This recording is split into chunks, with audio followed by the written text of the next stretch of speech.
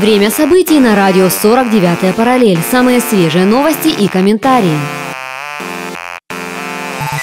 Здравствуйте! В эфире региональные новости. У микрофона Марина Семенчук. И сейчас коротко о главном. Мэру Северодонецка вручен обвинительный акт о коррупционном преступлении. В Рубежном каждый третий нарушитель правил потребления электроэнергии получает субсидию. Заместитель мэра Северодонецка призвал прекратить школьные поборы. Управление труда и социальной защиты населения Северодонецка получило новую оргтехнику.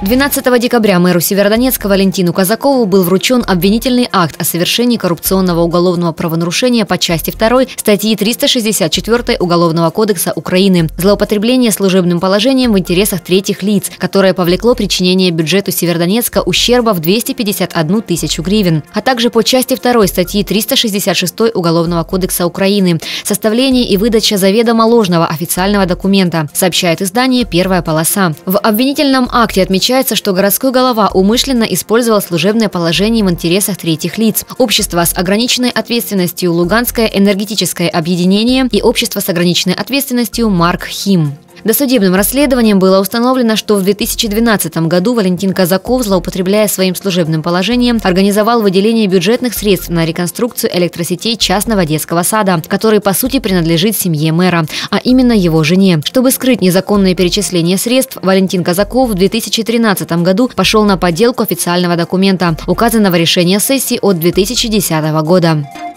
В Луганской области значительное количество актов о нарушениях правил потребления электроэнергии составляется на потребителей, которые получают субсидию. Об этом свидетельствуют данные Луганского энергетического объединения за ноябрь 2016 года, передает пресс-служба Луганской облгосадминистрации. У Рубежанского РЭСа в каждом третьем акте о нарушении вышеуказанных правил фигурируют именно такие потребители. Нарушители не останавливает даже тот факт, что благодаря субсидии они в этом году имеют значительную переплату на своих личных счетах. Некоторые граждане пытаются пытаются скрыть реальные свидетельства своего потребления, а то и вовсе занимаются хищением электроэнергии. В случае с рубежным цифры говорят сами за себя. В ноябре государство выделило рубежанам, которые получают субсидии на электроэнергию, помощь более 2 миллионов гривен. При том, что всеми бытовыми потребителями города Рубежное в ноябре использовано электроэнергии на сумму более 3 миллионов гривен.